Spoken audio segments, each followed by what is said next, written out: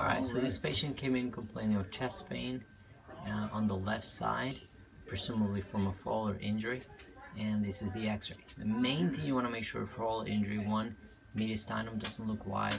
You want to make sure there's no pneumothorax or collapse lung, no um, pleural effusions or fluid, which could be actually a hemothorax or blood in the, in the lungs. But what you're looking for in this kind of patient where they hurt to move and breathe and stuff is rib fractures.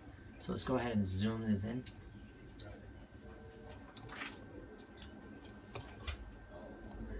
And here we go. So right here, there's one rib fracture.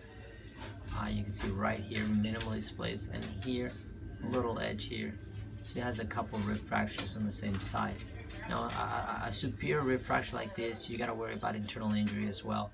So the other things you look for is something that looks like an infiltrate or pneumonia, because that's a pulmonary contusion in older people. That could lead to respiratory compromise, hypoxia, and other issues like that. So uh, non-displaced multiple rib fractures um, on this patient.